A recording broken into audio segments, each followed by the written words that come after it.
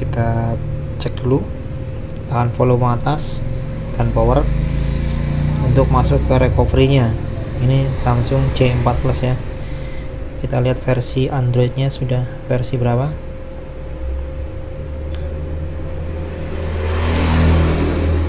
Di sini sudah menggunakan Android versi 9 ini ya. C4 Prime LTE 9 9 per dan saatnya kita coba reboot ke sistem. Ini tadi sudah saya wiping sudah wipe data ya. Tinggal restart dulu.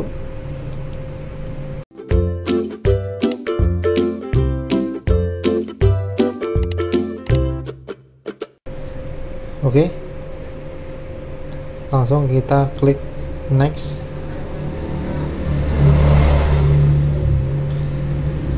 I have. Ya next lagi. Skip.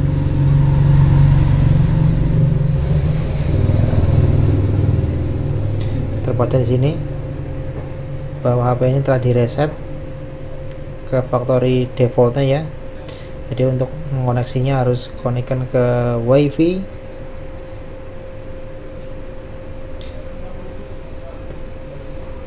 kemudian kita tambahkan.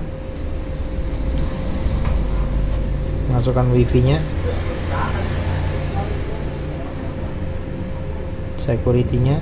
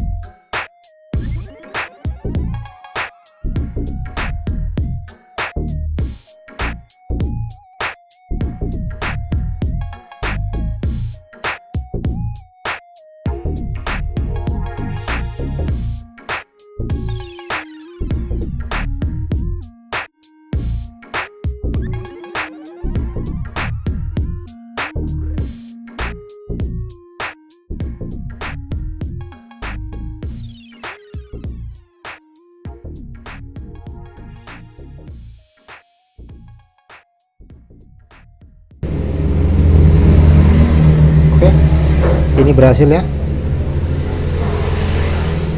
Demikianlah tutorial dari singkat dari saya bagaimana cara membuka Samsung J4 Plus yang terkunci emailnya yaitu FRP Lock oke. Ini Samsung J4 Plus versi Android 9 Android Pie. Kita lihat versinya. Terima kasih. Jangan lupa yang belum subscribe subscribe dulu. Terima kasih. Salam youtuber. Mantap mantap ya